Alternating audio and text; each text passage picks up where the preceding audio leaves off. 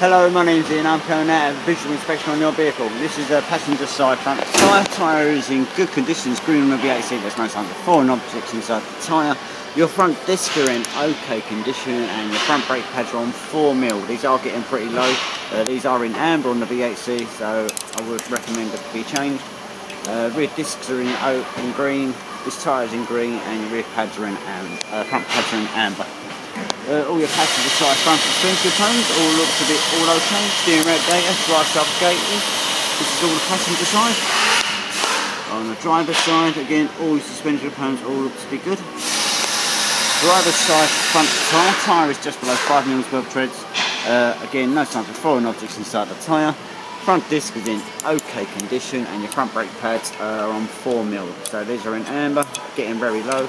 Uh, rear so disc are in, pads are in amber, disc in green, this tyre is in amber on the VHC. All your transmission is all looking all okay. All the exhaust system. You go back towards the rear of the vehicle.